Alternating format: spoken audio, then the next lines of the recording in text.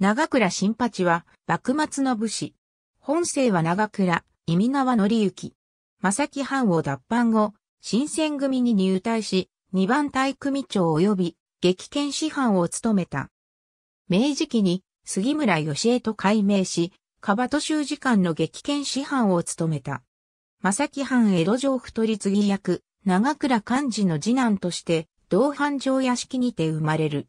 高下三年、岡田俊明の神道無念流剣術道場、激剣館に入門。しかし、4年目に死が亡くなり、以後、岡田助右衛門に教わり15歳で切り紙。安政3年、18歳で、本目録。元服して新八と称する。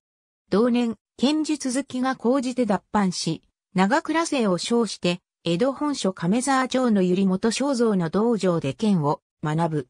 その後、市川右八郎と剣術修行の旅に出る。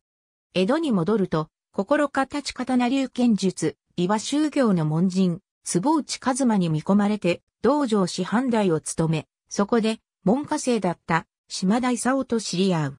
その後、近藤勇の道場、天然理心流、司令官の触覚となる。近藤らと共に老子組に参加。新選組結成後は、二番組組長や激剣師範を務めるなど中枢を成した。源氏元年の池田屋事件では、近藤屋沖田総司らと共に池田屋に突入。沖田が混沌し、東堂平介が負傷して離脱。長倉も左手親指に深い傷を負った中、防具がボロボロになり刀が折れるまで戦った。事件後、新選組の有名は天下に轟いた。その後、近藤にわがままな振る舞いが目立つようになると、これを遺憾とした長倉や斎藤はじめ、原田佐之助、島田勲、尾関正一郎、桂山武史八郎は、脱退覚悟で、近藤の飛行後過剰を会津藩主、松平片森へ訴え出ると、近藤勇、土方歳三との路線対立を見せる。あと、幕府から見回り組閣70票を3人ぶちに取り立てられた。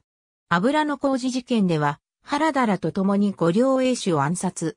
慶応4年の鳥羽、伏見の戦いでは、決死体を募って刀一つで突撃する高短さを見せた。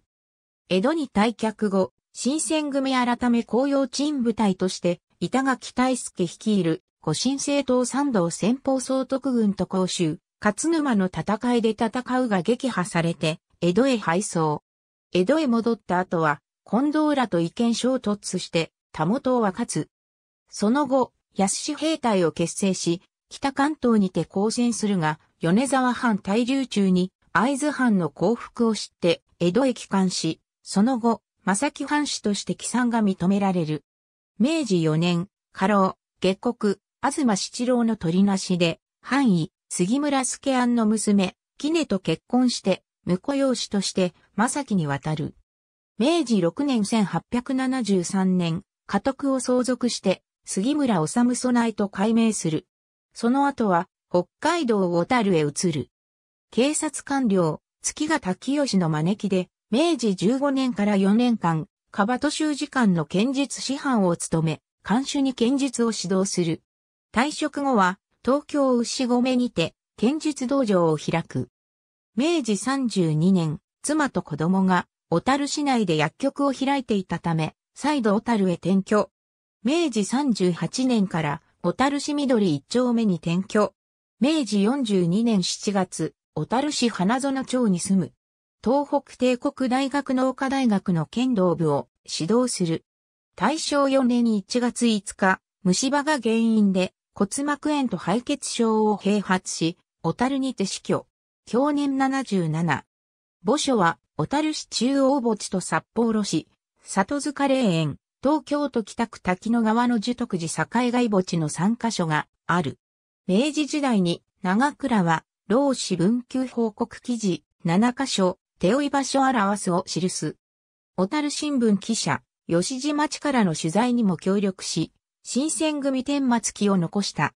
これによって、新選組は悪の人切り集団、悪の死者という従来の固定観念が崩れ、新選組再評価の契機となった。